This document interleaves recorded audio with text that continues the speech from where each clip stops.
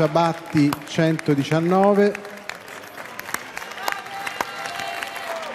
71 premio Strega e Paolo Cognetti con 208 voti.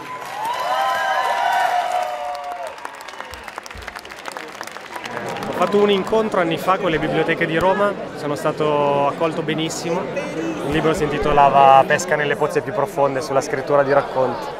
Ho mancato quest'altro perché ero molto stanco e questo premio Strega mi ha provato, devo essere sincero, e, ma prometto che tornerò e spero di, di vedervi presto.